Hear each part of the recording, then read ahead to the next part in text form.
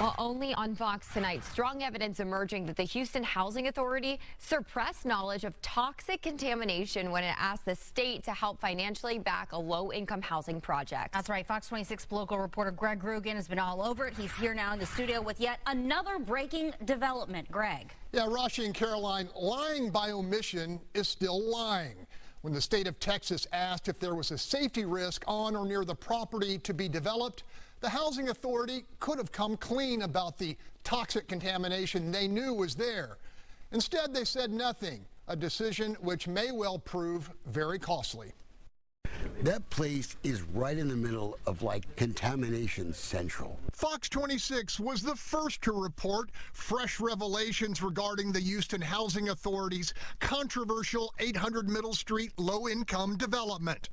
In documents we obtained from 2019, both HHA and its development partner, NRP, admit residual contamination remained on the property purchased for the $130 million project.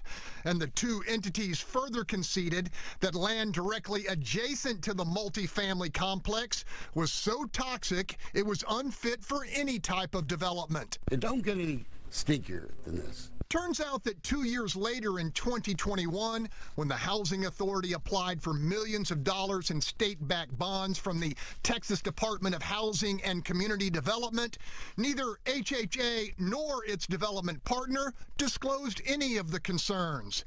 Asked if the development was within 300 feet of dump sites, they failed to disclose. Asked if the project was in proximity to an environmental factor that may adversely affect health and Safety, HHA and its partner failed to disclose.